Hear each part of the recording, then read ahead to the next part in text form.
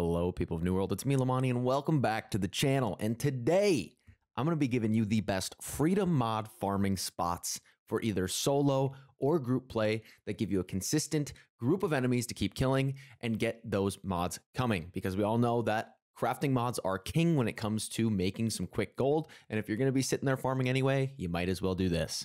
So why is this relevant? Well, here are the prices for shards on Valhalla, Marama, and COS. On Valhalla, they're going for almost 10k gold a piece. On COS, they're going for 16k and higher. And on Marama, they're pretty similar to COS, sitting around 15 to 16k as well. So a lot of gold is there to be made. So we have two things to discuss here. One, why are the prices like this? But two, why is this now an important farm or why is this even viable? Well, looking at shards of consecrated iron, freedom is a best in slot perk for pretty much every build now due to the shirking fort nerfs, uh, due to some of the general fortification nerfs, and other things that are going on in New World. So a lot of people are going for freedom, meaning they'll be willing to roll it. Now, the thing that used to happen with freedom mods, this is part two, is that they used to only drop on enemies that were about level 45 and a couple out in Ebon scale. And they have now made it that pretty much any named enemy out in the world can drop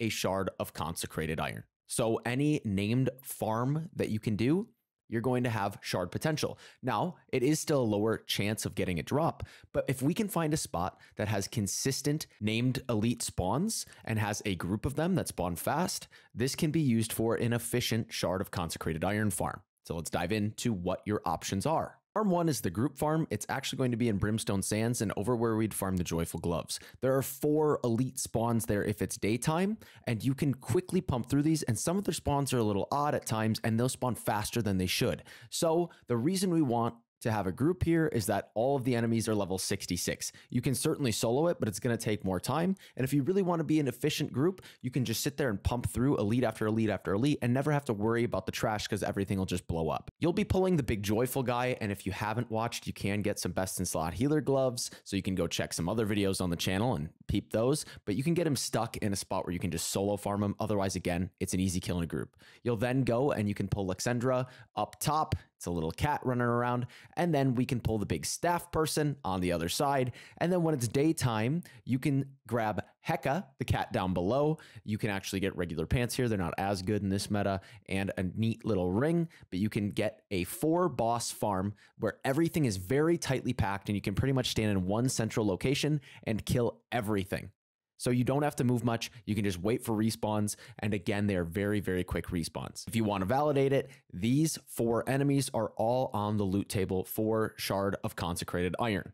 Again, it is a little bit difficult to get the thing to drop in the first place, but this is going to be one of your most efficient farms because you're in an end game zone, but you also just have four enemies that are tightly packed. Now, the solo farm is going to be in Sky Song Crypt in Ebonscale Reach, and you are going to have four enemies here as well. They're just a little bit more spaced out. You can also get your daily gypsum done here.